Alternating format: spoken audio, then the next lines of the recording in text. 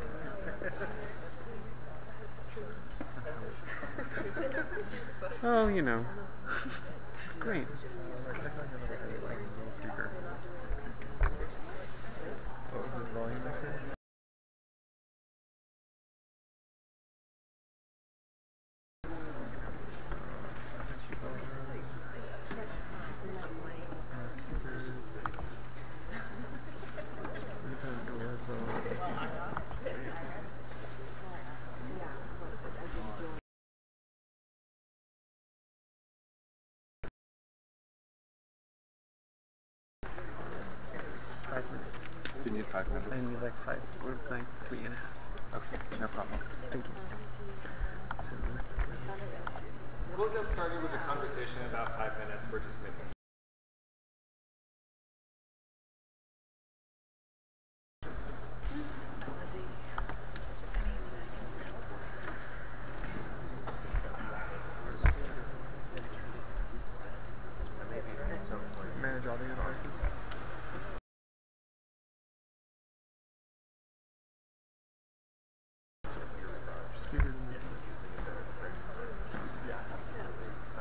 microphone.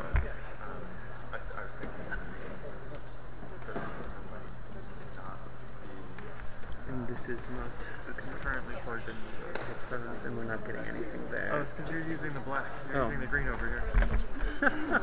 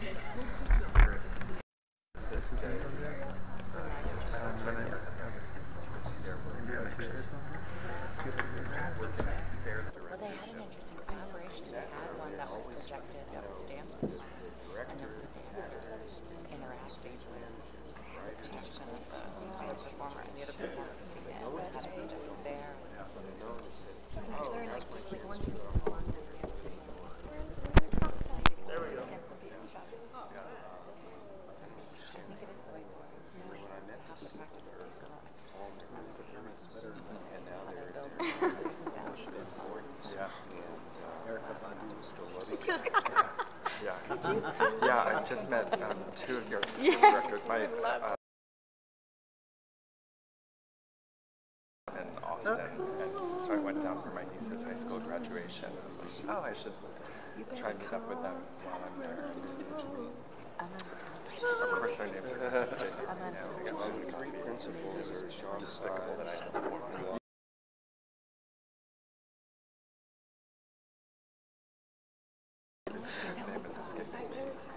um, the last show that we created. Uh, so Mugwumpin has uh, has existed since 2004, and um, we create all of our work from scratch. We work through an um, ensemble devising process where we um, choose a theme or perhaps a person, um, something that catches our interest and really uh, piques our curiosity as the basis for creating our work.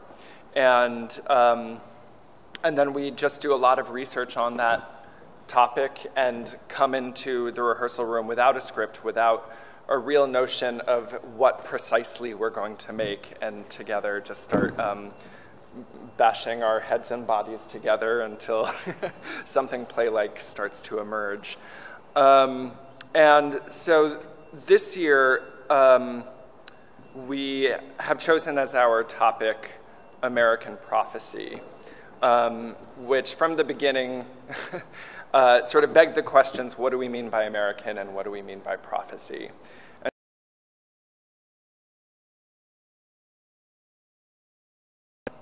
What are some of those approaches that we could take to those ideas? And very early on, after we selected the theme, um, we happened to run across a book that, uh, that Greil wrote, which is um, Jeremiah uh, or uh, Isaiah, you know, said, you know, you, you, you have violated the covenant, you have broken all the promises you made to God. It has nothing to do with predicting the future. It has nothing to do with saying, you know, where, where I will lead you. Um, prophecy in America, again going back to the Old Testament tradition, is about judgment.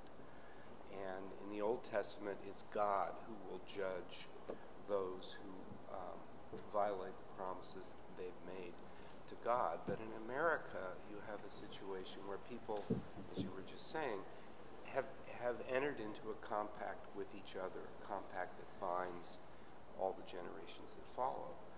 And that, um, that as one, you know, uh, becomes, grows up, becomes a citizen, becomes aware of the country that he or she is part of,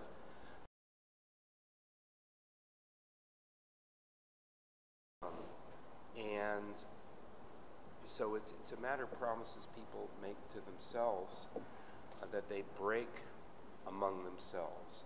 But there's no God who, who's going to judge them. There's no supreme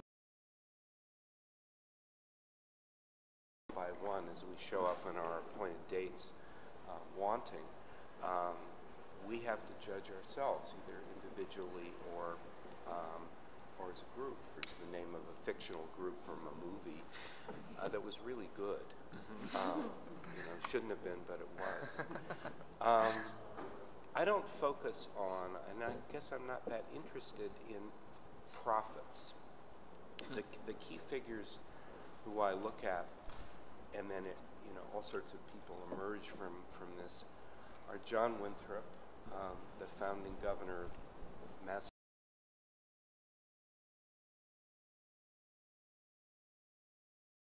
uh, Abraham Lincoln and Martin Luther King Ginsberg. And these are all people, it seemed to me, who are wrestling with this question of promises and judgment. And um,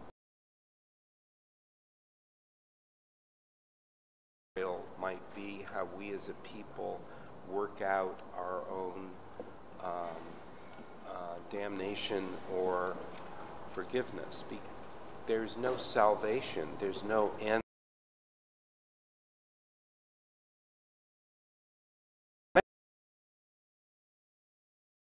Is a made up country. It's symbolically made up, founded over and over and over again. The, the founding of the Puritan community in 1630 in Massachusetts is, you know, legal and, and official and real in a sense with the Constitution in 1787. Um, the nation is refounded again by directly. If it's if America is to become a great nation, it's going to have to live up to the promises it made in, its founding equal justice under the law for all, uh, a chance for everyone to find out who he or she. Concrete evils are bad. We shouldn't have them. We should get rid of them. Well, it's just not that simple. Um, and, you know, uh, people think of New England as the hotbed of abolitionism in the 1840s and 1850s. It wasn't true at all. New England was, was as ferocious in its persecution of abolitionists as any part of the, of the country, as bad as Kansas. Um, and I just, I just don't think that's a useful way of, of going about any discussion. Um, you know, like I said, I'm prejudiced against Cornel West, and so I, I see him saying that the role of prophecy is to is to name concrete evils. Is saying, well, I will be the prophet. I will name the evils. Um, Martin Luther King, when he, in in the months before his address to the March on Washington, um, was giving versions of the speech that he would later give uh, in Washington, D.C. in August, in Detroit, and in other places. And when you read them today or listen to them, because you can hear recordings of them, they are. Um, um, they are uh, bombast, and they are, um, you know, someone. all becomes about him. And he says, I, I, I will drive through the mountain of despair and come out the other side. The implication being, you know, and, and maybe you, like the children in the wake of the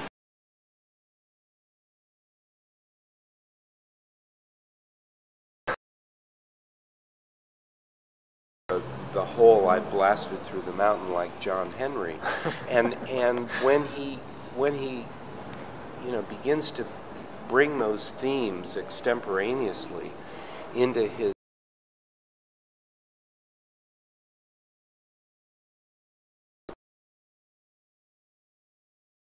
he disappears and he disappears.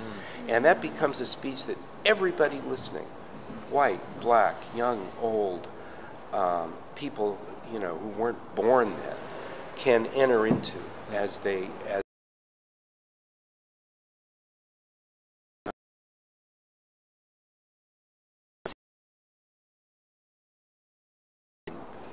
that ne- that never changes. Um, you know, I've been reading a book um, called The Stammering Century. It was written by Gilbert Seldes, who uh, was a cultural critic.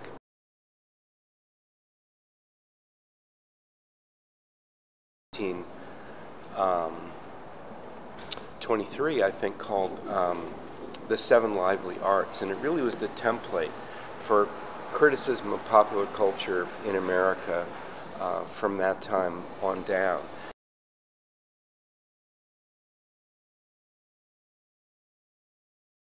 He doesn't have any books with him.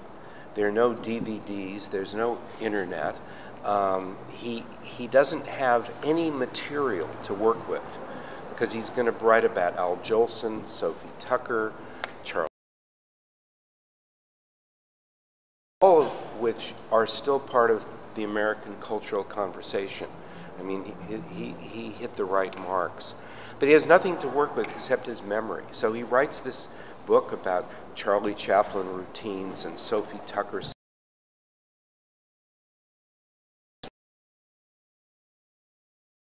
And it's all, you know, all in his head.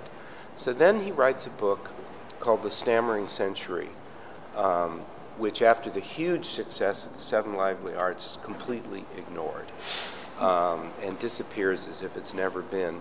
And what it's about, it's a history of revivalism, religious cults, utopian communities, and radical reformers in the United States in, in a promise that will ultimately expand to include all sorts of people um, who maybe it was never contemplated to include. But the, once the cat's out of the bag, there's nothing you can do about it. And that's what Martin Luther King is saying. Um, and Allen Ginsberg, in the middle of the Vietnam War in, in 1966, traveling across Kansas in the very center of the country, he's, he's there, you know, giving poetry readings at colleges and universities. He's not, he's not making a heroic quest, except he is. That's what he turns it into in his great poem, Wichita Vortex Sutra, uh, which he's composing as he's riding in a Volkswagen van around Kansas and Nebraska, um, you know, pulling in stuff off the radio, whether it's songs or news reports. Uh, and he says, I come to Kansas. He, he is the only one of Lincoln, Winthrop, Winthrop, a religious figure. You know, it, it, it's a long, varied poem with many different kinds of voices. And, you know, in, in different times, Ginsberg when he performed it, it would it would become a very a very different kind of poem. Um, I once taught a class about about this poem, um, and in, in fact, I, I didn't exactly teach it. I turned it over to two of the students that you teach the class. Um, we'd reached a point in the course where students could could pick up that ball and run with it. Um, and I invited um, as it was a class at Princeton, I invited Bruce Springsteen to come. He had wanted to come to a class, and this was the only one that was going to work. So I said, okay, you, you know, got to read the poem, got to listen to this recording. and uh, he came and um,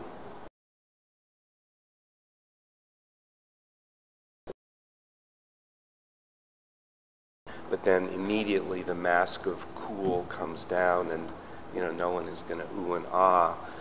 And bruce came into the, this room with an argument he wanted to make about the meaning of the poem and the idea of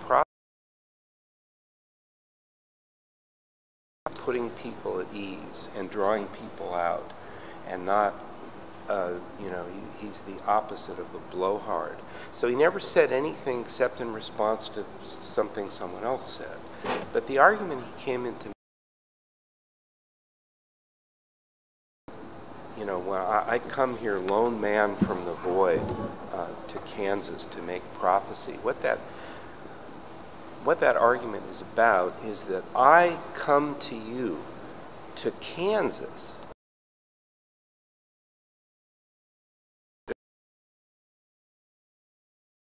come to you as a Jewish, commie, queer, dope fiend to claim full citizenship, to claim that I have the right to speak.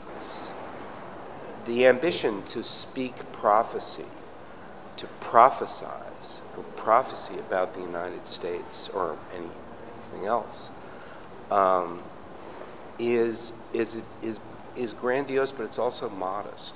It's also saying this is, this is what we as citizens uh, have to do. This is part of our obligation.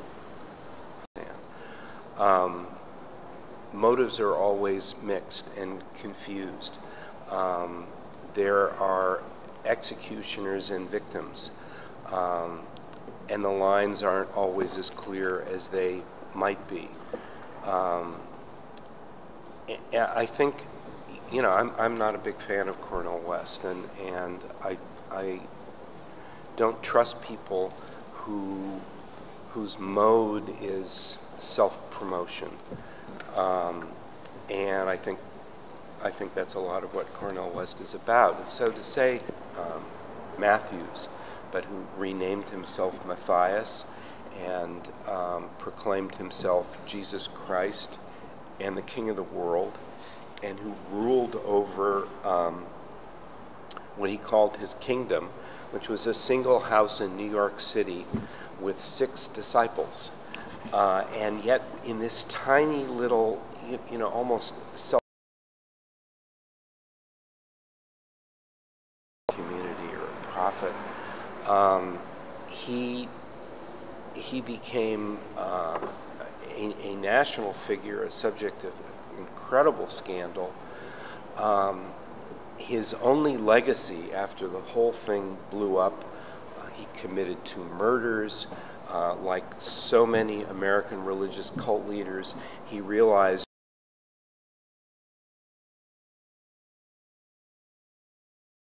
the community belonged to him. Um, it's something you see happening over and over again, not just with Joseph Smith or, or Brigham Young, but uh, David Koresh, Jim Jones. Um,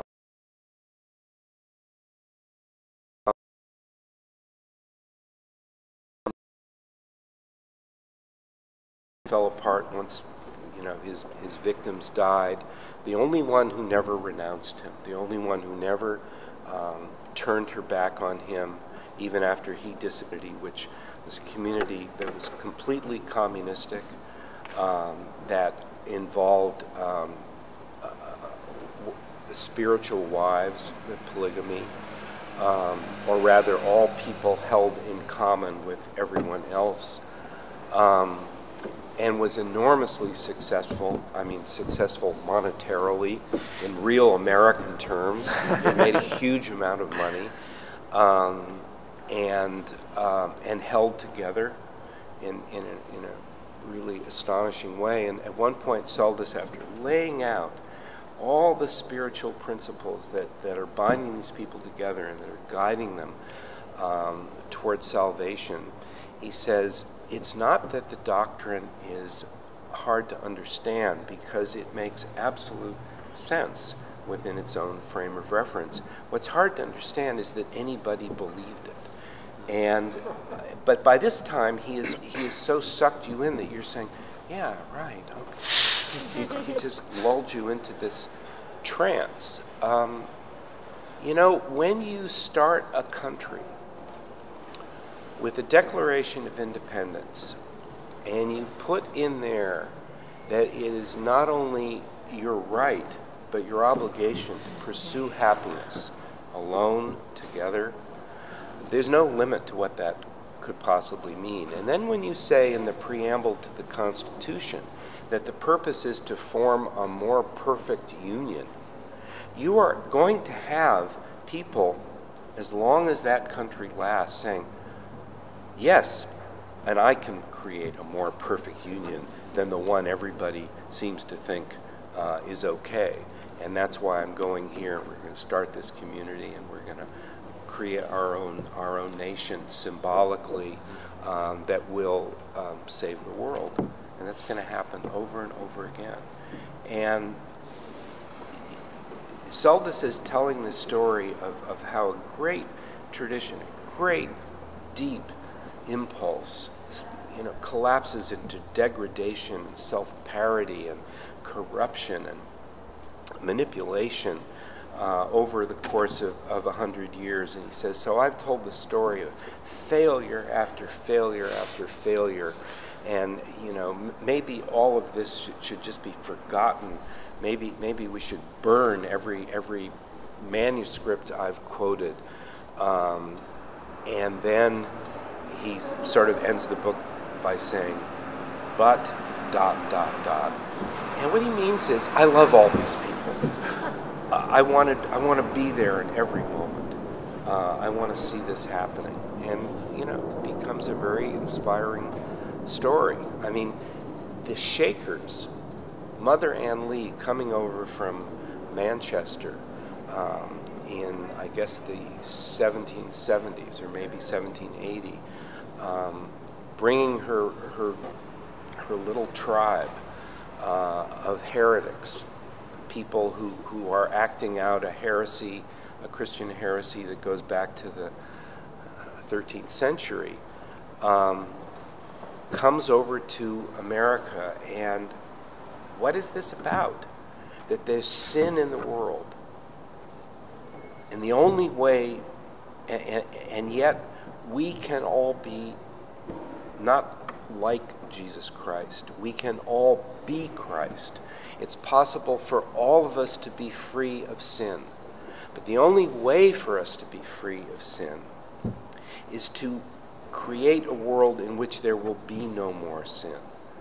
And since human beings are by nature sinful, the only way to create this world and ensure the second coming of Jesus Christ is to create a world where there will be no more people. And thus, she creates a community of celibates who are going to spread and spread and spread until finally all people are part of it and no more children will be born in the world. And then Jesus will return. You can't really come up with anything crazier than that. you can't come up with a doctrine less likely to attract people. That sounds like a really good idea. And yet, it was enormously successful. Uh, in the 1820s, 1830s, even the 1840s, uh, there were Shaker communities all over the eastern part um, of the United States, and particularly in the South, they kept on growing. And there may even be half a dozen left, people, five communities um, in the country. Um, Oh, community? There's one community In left Maine. in Maine, yeah, Yeah. and there are five of them. well, Although two people joined last year. yeah. um, yeah. Uh, and I don't know. I mean, I, I have developed a little obsession with the, this kind of um, uh, how f- fascinating the Shakers are, and in particular, the way that um, they were actually um, sort of spreading their message, and Mother Ann was um, traveling around New England and upstate New York, converting people during the Revolutionary War, and that was sort of the context in which she was um, doing her work, and um, and yet they were being constantly persecuted for, well, for a number of things um, within uh, within that context. Um, and it just, uh, I don't know, it's something, I think it resonates for me um, with uh, what you talk about in your book about the, prom- the promise, um, the betrayal of the promise of America being embedded in the promise somehow. Well, yeah, I mean, when, when you founded a nation on promises that are so vast that all people uh, should be free, that all people are free to pursue happiness as they define it, uh, that all are equal uh, under the law, um, that those promises are so great and so limitless that their betrayal is inevitable. Their active betrayal, their, say even evil betrayal, or uh, simply um, the failure of people to under to um, to to bring within themselves the notion of a compact between people uh, that those kinds of promises imply, and thus treat other people with the, with uh, the respect and, and deference that they deserve, just to put it on the most personal level. Um, but it's the it's because those promises are so vast, and because they were expressed in language that is so beautiful. Um, that they never lose their luster and they never lose their um, their glow. And so the betrayal of the promise becomes the engine for its fulfillment. Um, it's only when people say, no, this isn't what America's supposed to be. No, America promised me this, and, and it's all been taken from me my entire life. I believed in America, but America lied to me. That's you know something that's being said from the, the 1780s to this very day, over and over in countless different languages, and and and what happens is people then say, "I'm going to make this country live up to its promises. I'm either going to live, I'm going to I'm going to act out this in my own life. I'm going to work with other people. I'm going to uh, stand on the street and rant." Uh, I'm going to stand up at the pulpit of my own church um, or run for office and, and say these things. I'm going to publish a newspaper like William Lloyd Garrison, um, the great abolitionist editor, wh- whatever it takes. And so that becomes it, it, is the betrayal that becomes the engine of, of fulfillment. We look at the United States today, and it's very easy to see, particularly in things like the Patriot Act and all the laws and legal doctrines that have, you know, grown up around it or flowed from it. We, we can easily make an argument. I think it would be a false argument, but it's easy to make that we are living in a time that is less free or more unfree than ever before in the history of, of this country.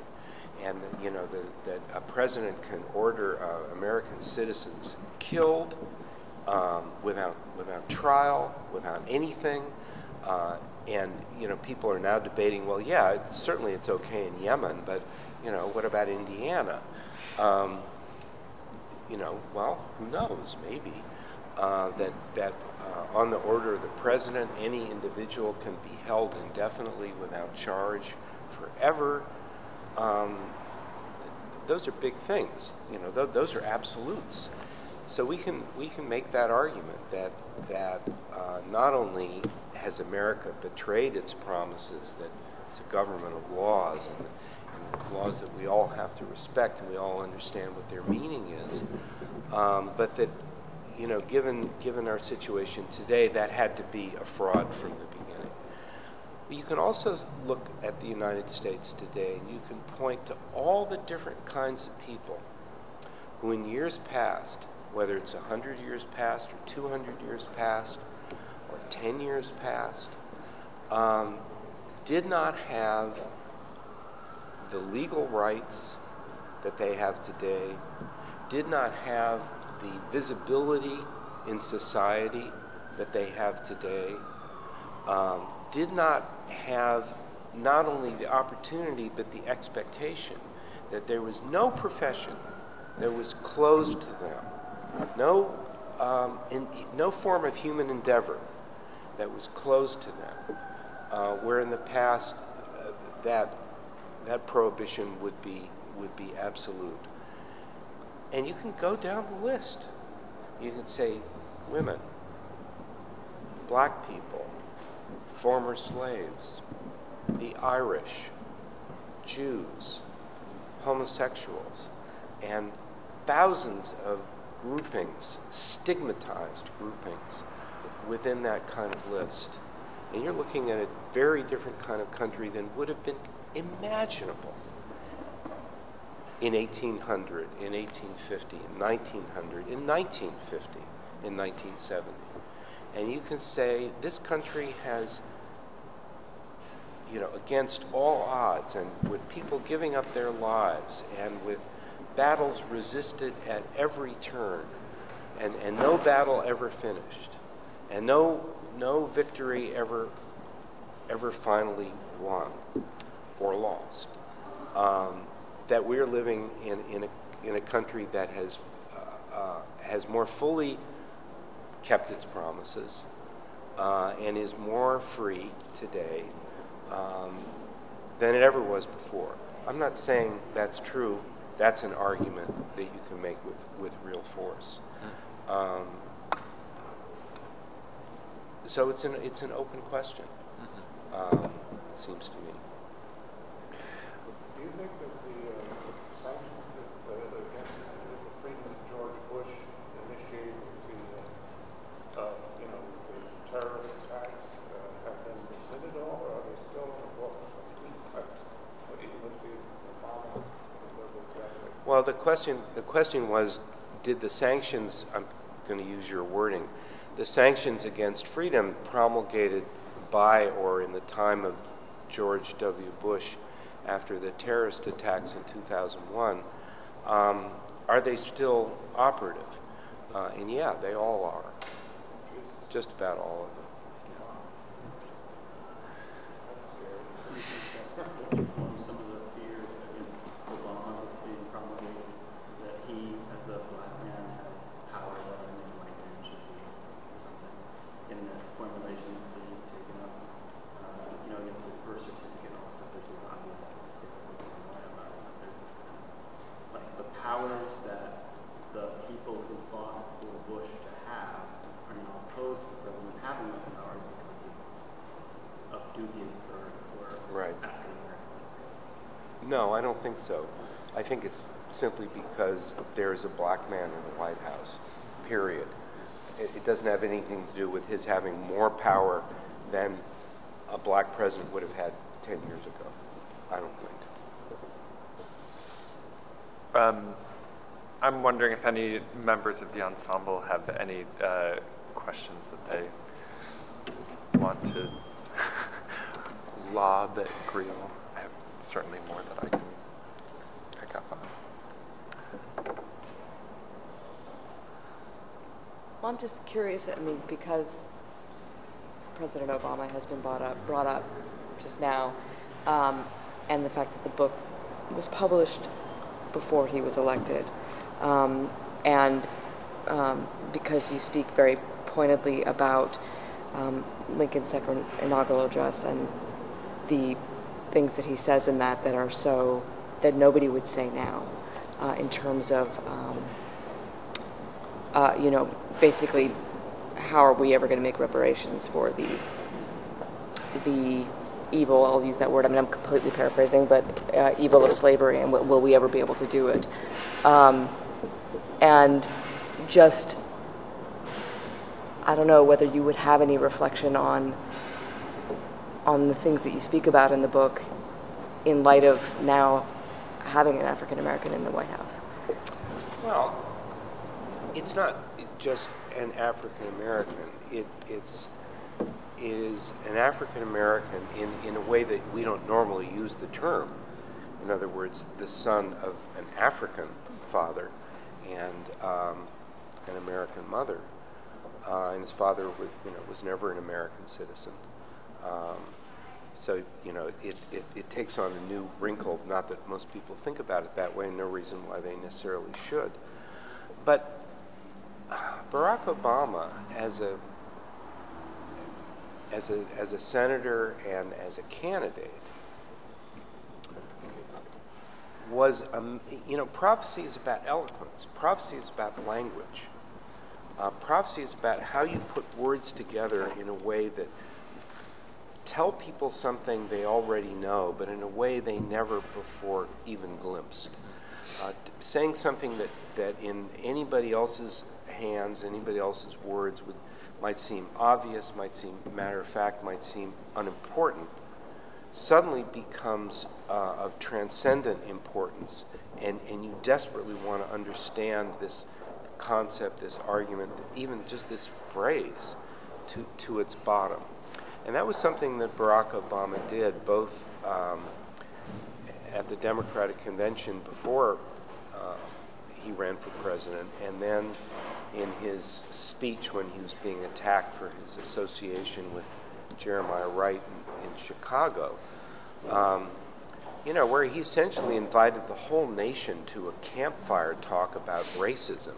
And the whole nation sits around this campfire listening, really listening, uh, and actually hearing what's being said, because what's being said is, has, you, you know, becomes a story that everybody not only is part of, but wants to be part of. And that storytelling aspect, um, that to me, you know, and I'm, I'm not alone, I haven't heard that um, since Obama became president. And, you know, that, that was true with Bill Clinton, too. Um, he was much bigger in, in a, as a candidate in 1992 than he was as a president in 1993 or 94. Um, and it was only when the Republicans shut down the government, you know, that he could become Captain Ahab and, and actually, you know, rise to, the, to a new occasion. Um, so, you know, Barack Obama had and probably has within him that prophetic strain, that ability to speak of things and to say, Who are we? What is this about? Bill Clinton did that after the Oklahoma City bombings in 1995 when he went to Oklahoma City. And he gave this extraordinary um, address where he um, he attacked and he said, um, you know, there's something wrong here, and there's specific people who are doing the wrong, uh, and we have let this country get away from us. Um, and and it, it was a frightening speech in a way that a, you know a prophetic address pretty much has to be. Um, you know, it, when Obama was elected on election night, um, when he gave his acceptance speech in, in Grant Park in, in Chicago, he managed to weave together quotes from or allusions to George Washington, Abraham Lincoln, Martin Luther King, Sam Cooke, um, in, a, in a way that, you know, I think some people said, my God, did he, did he just quote Sam Cooke? And other people were saying, that's so familiar. That reminds me of something. And he, he was, you know, taking people into a collective American memory. Um, and yet the country was, was no less racist the day after he was elected than it was the day before he was elected. That was not going to change. Maybe many people like me were naive in thinking that you know the reaction would not be so complete and total. You know, when the Supreme Court ruled in 1954 against school segregation, very, very quickly the South unified itself and declared a policy of massive resistance. We will resist this uh, in every way possible. Uh, you know, they, they didn't actually come out and say, and we will, you know, kill people and burn churches and drive people out of their houses, which of course um, they did, along with every kind of legal and illegal official act. Um, but I wasn't expecting that the Republican Party would immediately go back to massive resistance um, because, you know, not just a Democrat in the White House, but a black Democrat. Um, that's just too much, and um, and that's the that's the battle we're fighting. Not to say what side anybody should be on. I'm wondering. Um, you wanted to ask about the Rude Mechs? Oh yes, I would love to talk about that. So, um, the the Rude Mechanicals, or uh, is that their full name, or is it just Rude Mechs? They've been going by Rude Mechs for quite a while. Yeah, they're a company in um, in Austin, Texas. Rude Mechanicals is a term that referred to street preachers in England in the 16th um, and 17th centuries, 17th century, people who, who would just be there on the street, um, you know, um, um, just spouting uh, dogma and doctrine to the point where people called them rude mechanicals because they were rude and obnoxious and they were like automatons, just machines of, of prophecy. So that's, Um, that's what their name is about. and they create uh, they create work in a very similar way um, to how we do, um, without necessarily a, um, a script, but through collaborative creation. And um, they in 2000, did you say? Yeah. Um, created a show based on um, another one of Greil's books called Lipstick Traces. And the subtitle is The Secret History of America, is that it? No, the 20th century. Secret History of the 20th Century. Um, Just a little modest. and um, yeah, that I mean, that just fascinated me because I've met with them before and talked about work before, and um, I would just would love to hear about what your process was like and working with them and how involved in the process you were. Yeah, um, I had nothing to do with it at all. Um, they, the Rude Mechanicals at, in 2000 were a theater group that had been going a number of years, three or four, I guess. Um, and the principals in the company were Shawn Sides and Lana Lesley and Kirk Lynn, who was the, the main writer. Um, and that was 12 years ago, and that company is still together, that nucleus and, and nucleus of other people too. Is, you know, they're still uh, part of that group. They have really founded their own community, and it has lasted. Um, you know, no one has gone off to um, other opportunities. You know, whether God, I've really got to make some money and start teaching school, or maybe I should go back to graduate school, or I've got this offer from a company in Boston. None of that has happened. Um, these people are still working together, and they one play, one person will be the director and another an actor, and in the next play, their, their roles will be switched. There's a rotation of tasks that's just essential to um, you know bringing out the best in in everybody. And one of the company, Kirk Lynn, I guess, uh, contacted my agent and said they wanted to do a theatrical adaptation um, of this 500 page book, which just seemed to me totally insane. so I said, sure. Um, I don't want to have anything to do with this. I don't want to read the script. I don't want to approve anything. Uh, if you have a factual question, I'll answer it. But I don't want to. I don't want to discuss it. I don't want to talk about the true meaning of this or that. I just want to see what you make of it. And when I finally saw it, and it's this 500 page book boiled down to, I think, 70 minutes. Um, they had staged the book I had wanted to write and failed to. It was just the most, it brings tears to my eyes to even talk about how, how gratifying it was uh, and how thrilling. Um, you know, it, and, and that was really true. There was a spirit that I could never quite get into the book and they did. So, um, I had nothing to do with it. I made no contribution at all.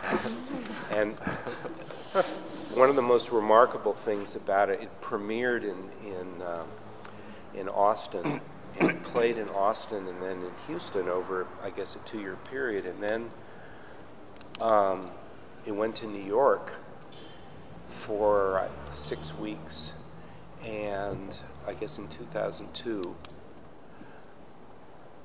And there was a New York actor named David Greenglass, um, Greengrass, who played Malcolm McLaren. And he was just uncanny as Malcolm McLaren in his unctuousness and his accent and his superiority and, and his sort of hidden gleefulness. It, it was really something. So um, the next morning after the premiere, I get a phone call, and uh, my wife said it's it's someone is saying he's Malcolm McLaren, and so I took the phone, and you know I'm talking to this person who's raving about what a great performance David Greengrass had given, and you know it was just it was me, and, and I'm, I'm, I know it's David Greengrass calling up as a prank call to sort of praise himself. No, but it turned out it was Malcolm. and he wanted to mount a production uh, of this play in London where he would play himself. he was so inspired. So that's, that's how good these people, these people are. Never happened, but it would have been nice. Um, in our last few minutes, I want to open it up to questions for any guests who are here as well, if you have any for Greil or for us about our process. Now, you know, you, you could probably tell if you ask me, you know, how many pennies it takes to make a nickel, that I'll go on for 20 minutes. But, you know, I, I can also answer briefly and talk about small things. I sort of have a small question.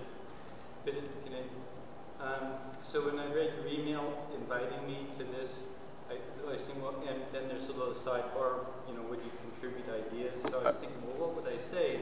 Some of the, one of the images of, of modernity that just always sticks in my mind hmm. is, is of a shorebird wading in a pond in a parking lot. Hmm. And so it's doing what it instinctively knows how to do, which is wade.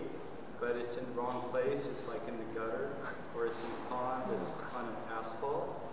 So, and then I'm thinking, putting that forward, a friend of mine has recent, who's a musician, has uh, redone her website, and and um, and she's sending it to people, but they most people have like little uh, iPhones, and with these small monitors, and and she says they're not even paying any attention to the bulk of the website because it doesn't fit in the window. And, and, and, and most people are not really reading email text because it takes too long to scroll through it. Um, so, so, I mean, the question, I guess, is, is, uh, is social media satisfying social instincts? I mean, in other words, this group seems very satisfying for a social animal. But when I write to friends on my Facebook, some communication goes across. But is the water too shallow? Are we really getting nourishment and sustenance from this kind of thing? I, I appreciate the benefits of it because I can like see what somebody's doing in the Sahara or at the same time I can check in with somebody in, you know, Iceland. So there's this kind of bringing together or this ability to look around and see what lots of other people are doing. But um, so I guess it, so, and then since I'm on the stage, I was talking to an older friend of mine this morning, because because well, what are some of the antidotes, or what are some of the older ways of doing things? And she says, well, the quilting bee. People used to get together and quilt, mm-hmm. and then it became like sewing bees, and people had sewing machines that get together and sew. And now she's a, mate, a knitter, so she gets together like three or four times a week with seven or eight ladies, and they have tea and they knit, and they sit around in a circle and they chat with each other about things. And so that's a kind of a working social uh, network. Uh, so, so that, I guess that's all I wanted. What do you have any idea, like how how to? Um, I don't know where I'm going. I guess I'll go back to that image of a shorebird waiting in a puddle in the gutter. It's like so so beach has been paved over. Uh, our ability to, to seek nourishment out of our environment is substantially limited. Are we really going to get uh, the nutrients we need to make healthy, psychic, healthful, psychological decisions? I mean, where where do we get healthy nourishment in this environment? Well, I mean, that, that's a big question. I can't obviously answer it, but it's funny, when you, you know, told your template story uh, of the shorebird in, in waiting in a puddle, um, you can you can see that as as you characterize it, but you can also see it as the persistence of an impulse uh, that can't be denied, and that is um, incredibly inspiring. I mean, I spend a lot of time in, in Minnesota, and um, there are a lot of lakes in Minnesota. And when Minnesota says it has 10,000 lakes, some of them are about the size of this table. Um, and there are birds of all kinds um, in and around these lakes. And I, there, there is something that's not much more than a puddle. It's kind of like um, just a socket of water between um, a freeway off ramp and, um, a, a city street. And there are always geese in it, always. And it's like, what are they doing in this, you know, godforsaken puddle when half a mile over there's a real big, expansive lake? Well, they, this is their puddle.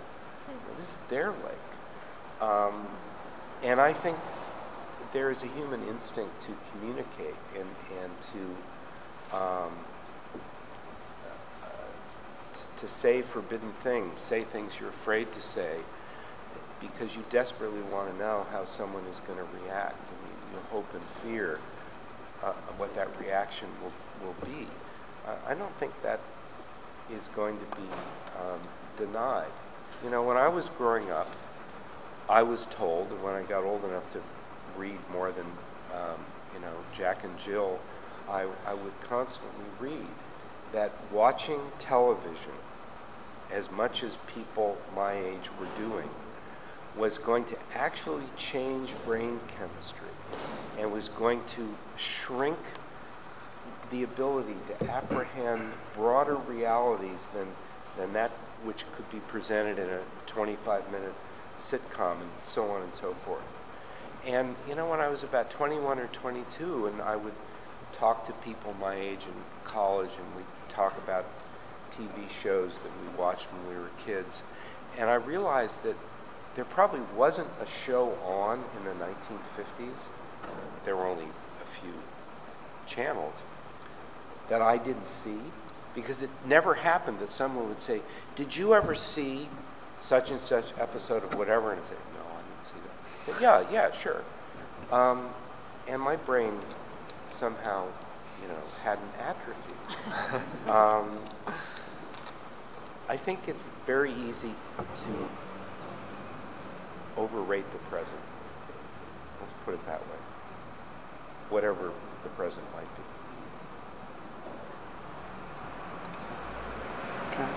Uh, Greil, a, lot, a lot of our explorations in uh, our rehearsals have been regarding the ecstatic state and ecstasy and sort of a prophet or a prophecy's relationship with it.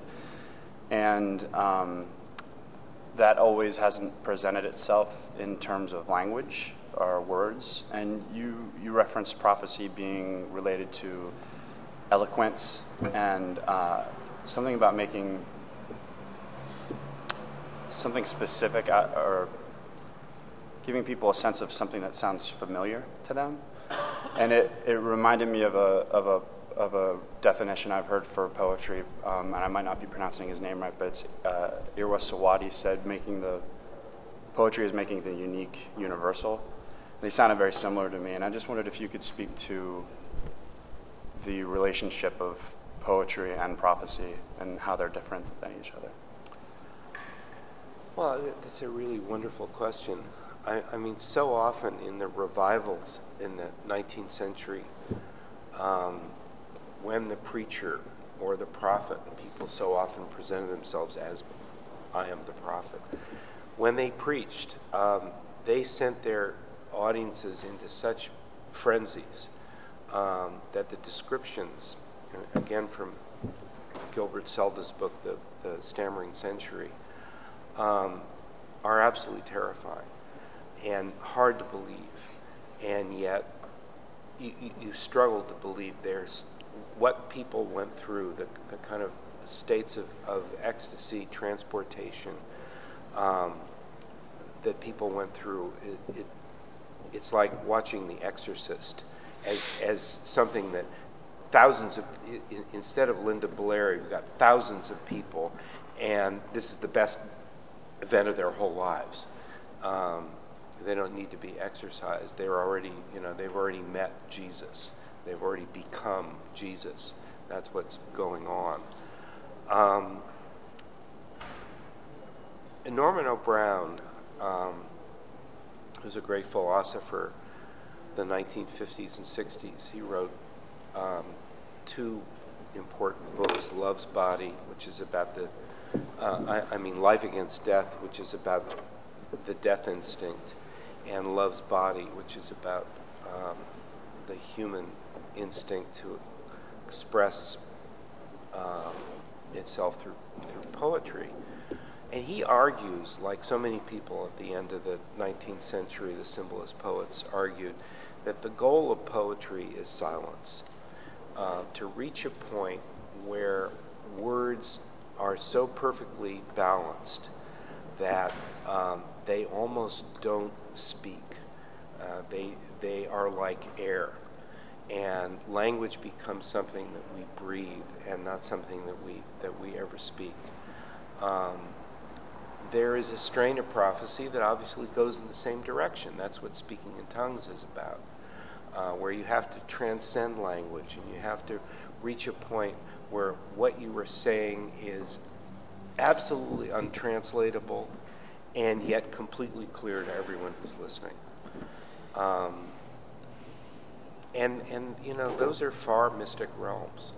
Um, and I think, you know, for the project that, that you have, there, there is a tension, there's a conflict, there's a war going on between eloquence, the eloquence of, of Lincoln in his second inaugural address, which is, which is one of the great religious addresses in our history, um, and the urge to get beyond language.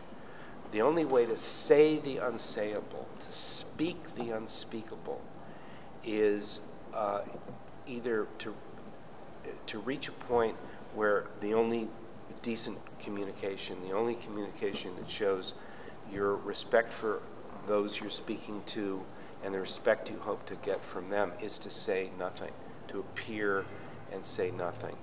Um, and yet, you know, that isn't something you just sh show up and I'm not talking today. Um, it is it is a spiritual quest, um, and I, I could see a wonderful scene where, you know, you, you have on the one hand somebody speaking, you know, with fabulous eloquence that you can't turn away from, um, with with such tremendous um, beckoning power, and yet um, his audience or her audience dissolving into um, into a state beyond or even before language, and and in a certain sense, ceasing to be human.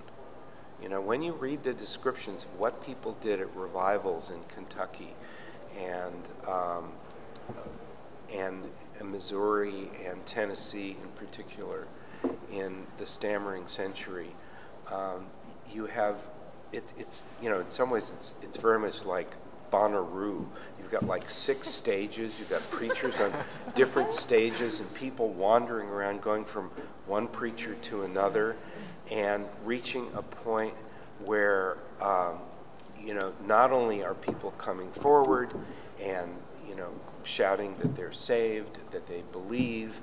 Um, but you, you know it starts there, and then as the night goes on, um, people begin to bark like dogs. You see packs of people on all fours uh, running around and grabbing other people, people stripping off their clothes. You have orgies going on. There are people dancing, possessed by the Spirit to the point, and Seldes is quoting this eyewitness account, and I just didn't believe it. I still don't believe it.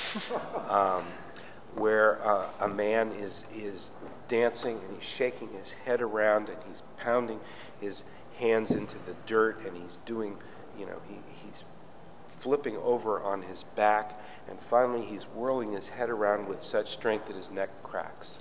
He snaps his own neck. You know, you read this, and I just, well, put that on stage. We've done that.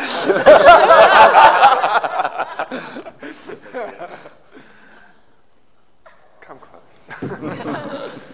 so, so at the beginning you were talking about definitions of prophecy, what the words mean. So, I guess part of this is a question to you to kind of go back to, you know, because when I hear prophecy, and maybe it's from doing a lot of Latin in my taking Latin class in my youth, I think oracles, and I think about the future pointing aspect of it. Um, a lot of the discussion we've had here has been about things that I more think in terms of in a class of cults, you know, and, and with a prophetic aspect to the, the rhetoric around it. But, but, but I'm curious about, and, and as such, a lot of these things have to do with rules in the now for the followers of the prophet.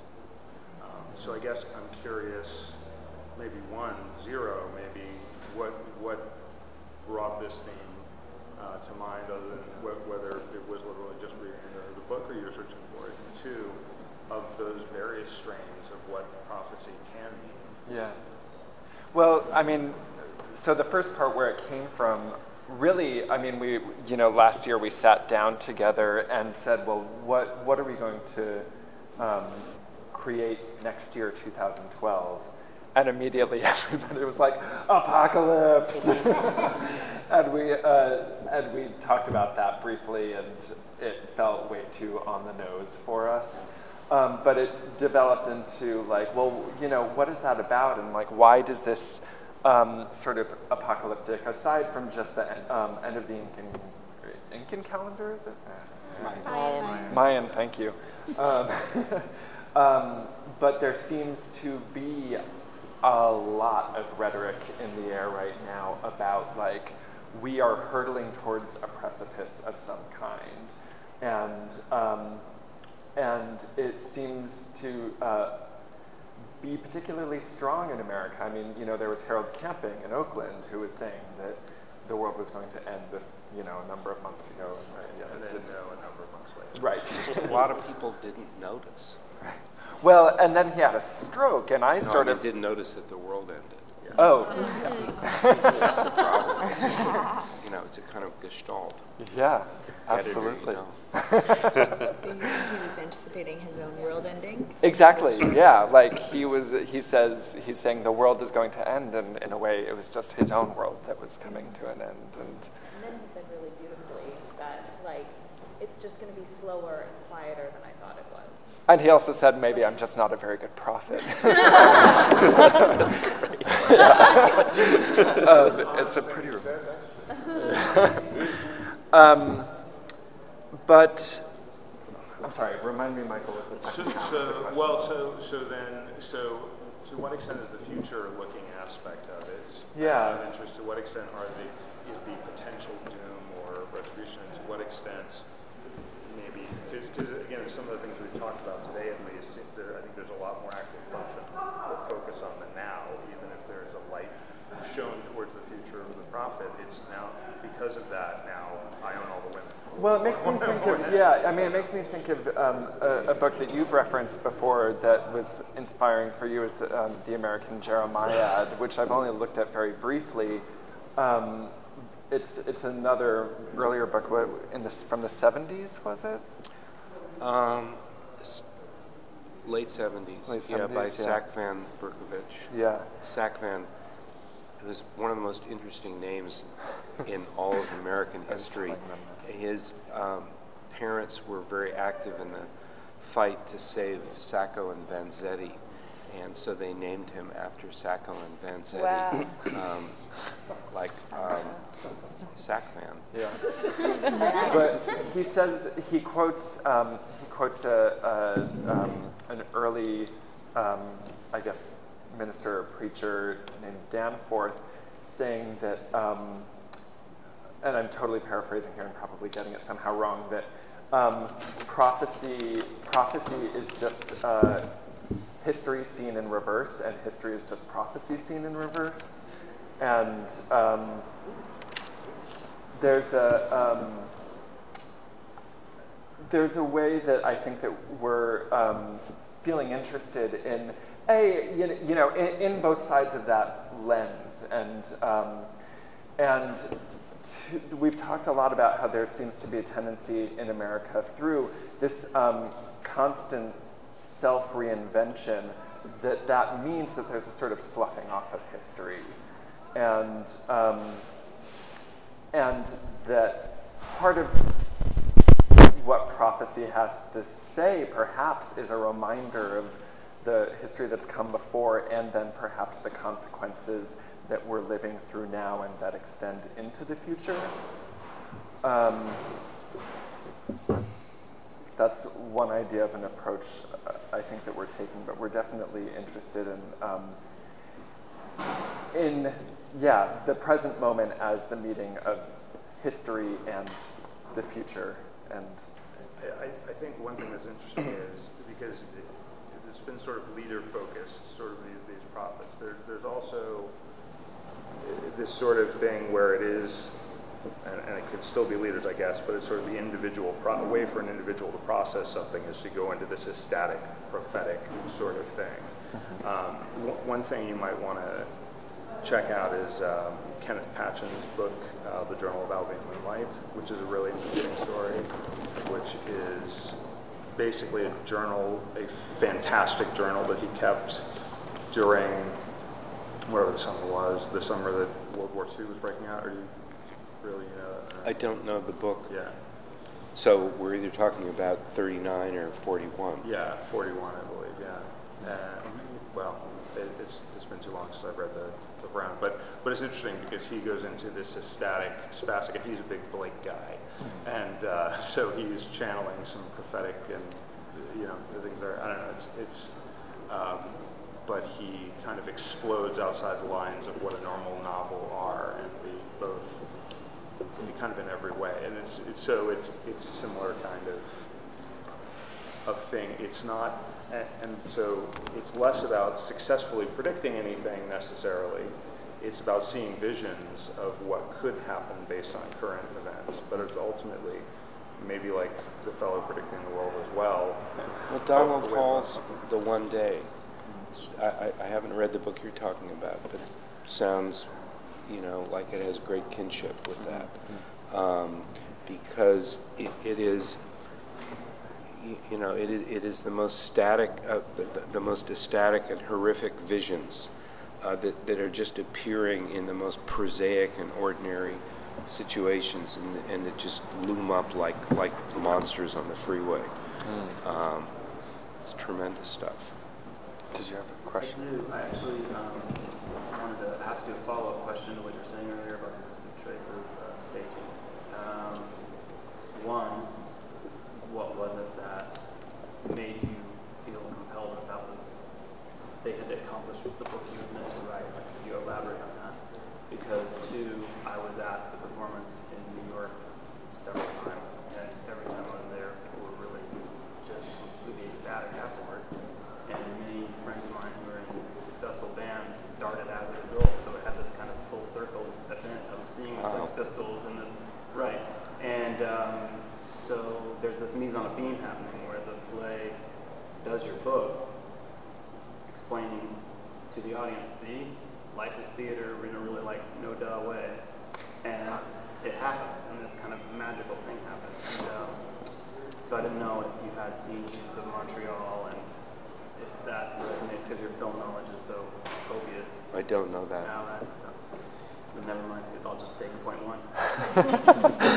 Well, you know, they, they, they had a, a spirit of, look, he- here I am trying to write this book about um, radical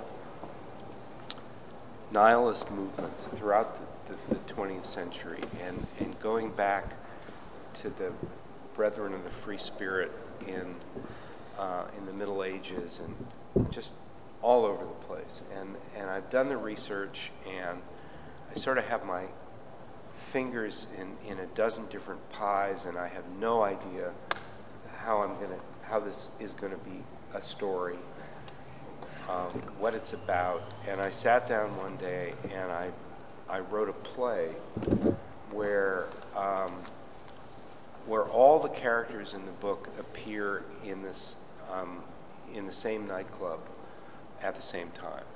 And they're constantly fighting with each other over the stage, and you know somebody's leaping on the stage and pushing somebody off, and the other person fights their way back, and um, you know it wasn't very long, but it it got everything together, and it had a spirit of just don't give a damn. I'm not trying to make a point. I'm not trying to prove anything. I just want to make something happen. Um, and it doesn't have to have any meaning at all. And I was and and I was never able to get the spirit of that afternoon fully into the book. There are moments, uh, but the book became something else. And uh, the people in, in the Rude Mechs read the book, and what they read, what they what spoke to them, were these um, filaments of anarchy and nihilism in in my own writing and arguments rather than the arguments themselves. And so that's what they drew on. And, and they said, well, if we're going to if we're to tell this ridiculously complex, and involved story taking place over all this time, well, we obviously have to do it simultaneously. And we have to have characters who not only never met each other, never heard of each other, but who lived in completely different eras and would, you know, one is dead before the other is born. Um, we're going to have to show them sitting around at a table and talking, uh, or, or getting into a screaming match. Uh, and how do we show what went on at the Cabaret Voltaire in Zurich in 1916? You know, there's a lot of poetry readings, there's some dances, there's sort of little plays. Um, and, you know, they come up with something that, that, that is visually absolutely, you, you can't take your eyes off it. It's moving so fast, you have no idea what is going on. And you forget the fact that nothing like this would have ever happened in the Cabaret Voltaire. The idea is to think of the things that the Dadaists forgot to do uh, or didn't get around to, and that's just what they did. Um, and, and, and, and there were, you know, there was nothing cheap. For example, um, what I mean by cheap, Phil Kaufman um, had a movie on HBO recently called Hemingway and Gellhorn. It's about the relationship between Ernest Hemingway and the war correspondent Martha Gellhorn in the mostly in the 30s. And I think I think it's it's an absolutely wonderful picture. But there's one moment where something in, in the Spanish Civil War, some soldier does something, and the Hemingway character says, "Well, that's really grace under pressure." You know, just taking this famous Hemingway line and making it into dialogue, and it just, just sticks out like someone raised the red flag up the pole. It's so obvious and hokey. Um, and there was nothing in their play like that. There was no key to flatter the audience with something the audience would know. Say, yeah, we, we know that in reference. I don't mean to the book, you know, just something, nothing like that at all. It was just too fast. It was fast. Um, didn't you think?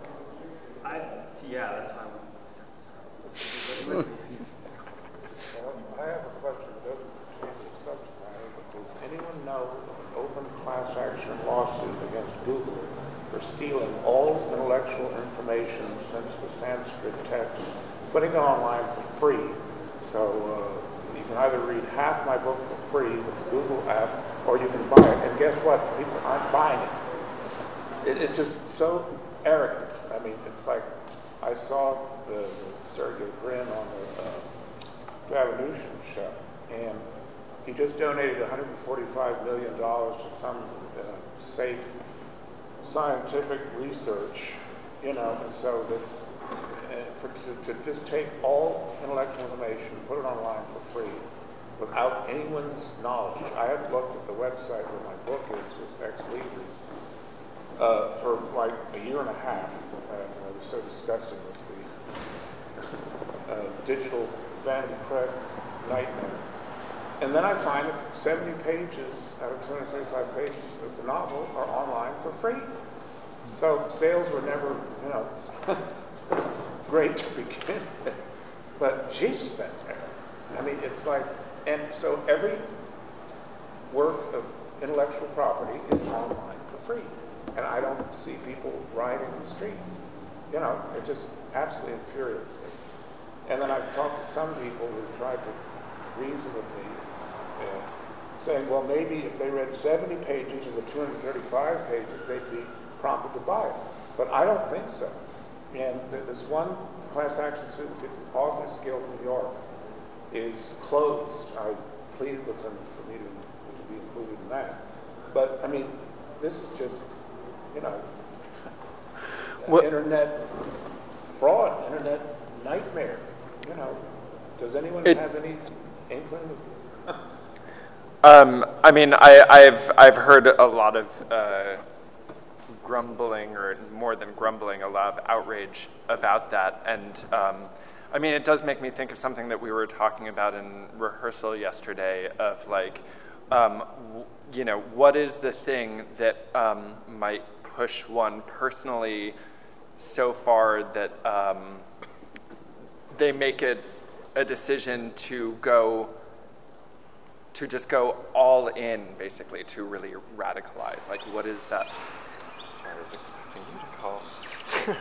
Um, what, what, is the, what is the thing that's going to um, allow somebody to sort of go, go all in, to go past a sort of um, a point where they leap off that cliff where from um, I'm just going along in my comfort and in society and something is just one step too much and I have to, um, I have to just face the fear of throwing myself uh, all the way in. I mean, I think that there are so many things right now that um, could inspire somebody to uh, that could inspire somebody to riot in, in the streets, and that's yeah. I mean, I understand. And it's like this is just so, and I, I the, the only way to fight the behemoth of that nature is with a class action lawsuit.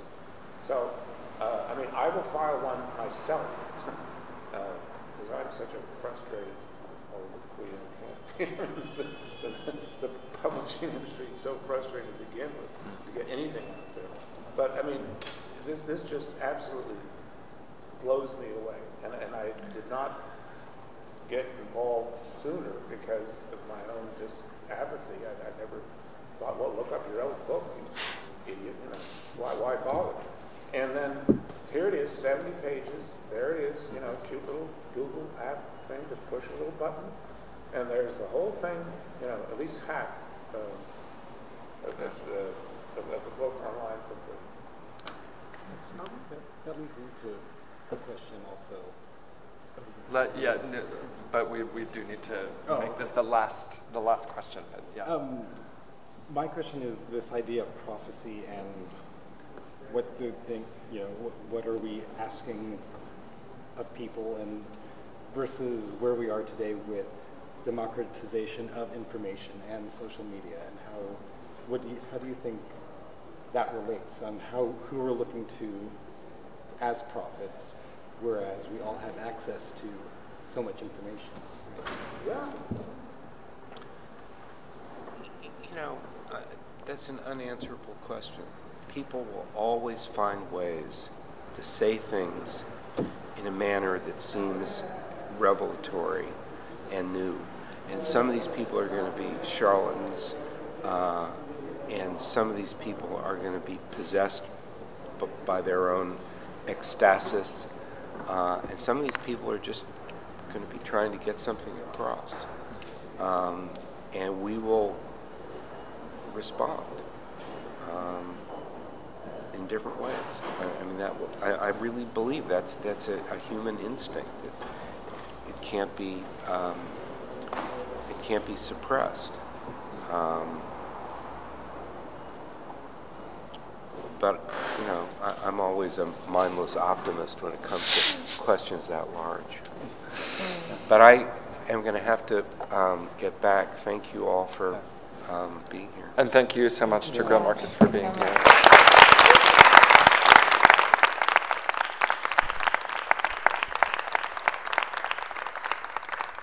And thank you all so much for coming as well. So I'll be back in the spring. I can't wait to see you're come up with. We get yes too. Thanks a lot. And um, Greil has to go, but if anybody has any questions for us, we'll probably stick around.